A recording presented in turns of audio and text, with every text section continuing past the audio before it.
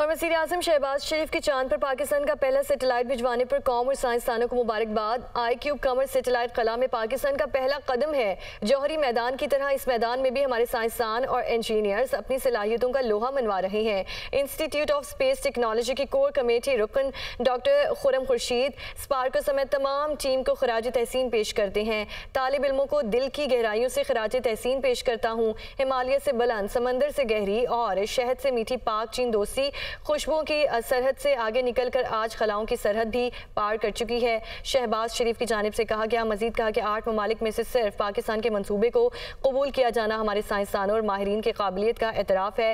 ये तकनीकी तरक्की के सफ़र का बहुत तारीखी लम्हा है। इस अहम कामयाबी से पाकिस्तान खला के बामकसद इस्तेमाल के नए दौर में दाखिल हो चुका है। वज़ीर अजम शहबाज शरीफ की चाँद पर पाकिस्तान का पहला सेटेलाइट भिजवाने पर कौम और साइंसदानों को मुबारकबाद। आई क्यूब कमर सेटेलाइट कला में पाकिस्तान का पहला कदम है जौहरी मैदान की तरह इस मैदान में भी हमारे साइंसदान और इंजीनियर्स अपनी सलाहियतों का लोहा मनवा रहे हैं।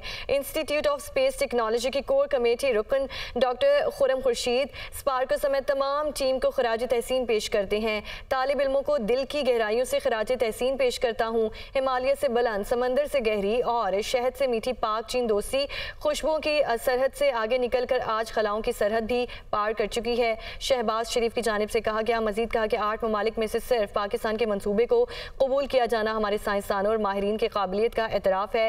ये तकनीकी तरक्की के सफ़र का बहुत तारीखी लम्हा है। इस अहम कामयाबी से पाकिस्तान खला के बामकसद इस्तेमाल के नए दौर में दाखिल हो चुका है।